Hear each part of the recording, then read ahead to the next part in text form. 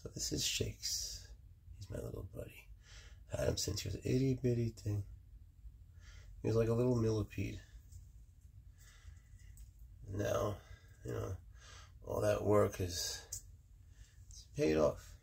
Look at him. I mean, I can't really say it was me. He came nice, you know.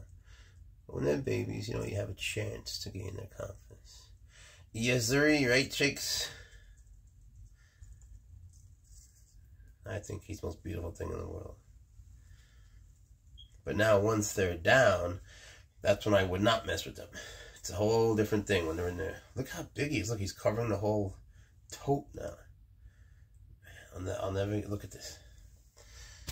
They change their behavior when they're down there. See, you see how he's turning into something else. You know, Mr. Hyde's coming out. You see, it's a whole different thing. You got to be careful when they touch the guy. We'll never pick him up from here. It's just a question of learning your behavior. There's nothing evil here. He's just trying to defend himself. He would never attack.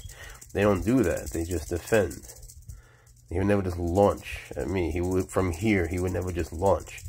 He's in that position. I know everyone will notice where he could strike, but only if he had a reason. So shh.